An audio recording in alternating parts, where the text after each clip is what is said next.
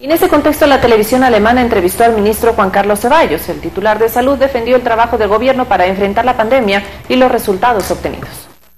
Con nosotros, a quien ven, aquí en el estudio de HBL, el ministro de Salud Pública de Ecuador, el señor Juan Carlos Ceballos. Ministro, muchas gracias por estar aquí con HBL eh, en esta entrevista.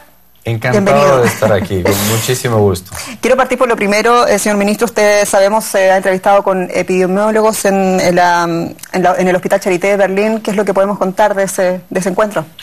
Esta es una pandemia y por, lo tanto es, global. Las soluciones tienen que ser conjuntas. Y hemos encontrado una gran oportunidad con Charité, con la cooperación alemana, con el gobierno alemán, para trabajar juntos.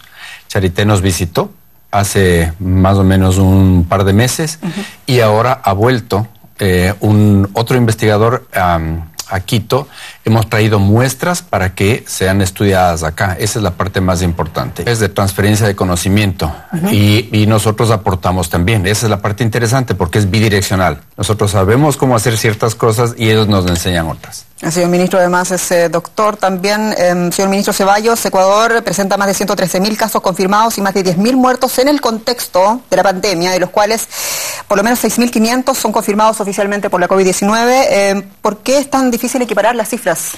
No, hay, no hay cómo esconder los muertos. Esa es la parte más importante. Pero hay dos cifras que la gente confunde mucho y que nosotros hemos tenido el error de no eh, explicarlas bien. La una es la tasa de letalidad.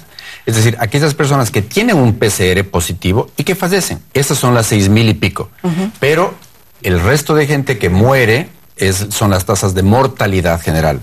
Suena un poco curioso esto. Y esas hay que compararlas con los años precedentes, es decir, 2018-19, ¿qué pasó con 2020? Y ahí tenemos, particularmente en Guayaquil, un exceso de mortalidad que va alrededor de los 20 mil eh, muertos. O sea, ese es el exceso de muertos que hubo.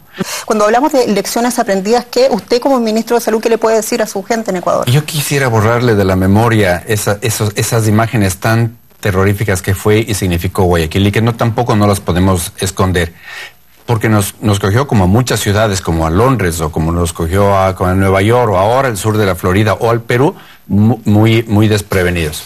Pero ahora lo que les puedo decir es que si es que ponen atención en, la atención primaria de salud, en una vigilancia activa, es decir, yo busco los casos, van a ser una, eh, diferencia enorme. A pesar de, de ese pico de mortalidad tan grande, del cual usted menciona en Guayaquil, hoy en el país, después de, seis meses de confinamiento, etcétera, tenemos las cifras más, una de las cifras más bajas de América Latina.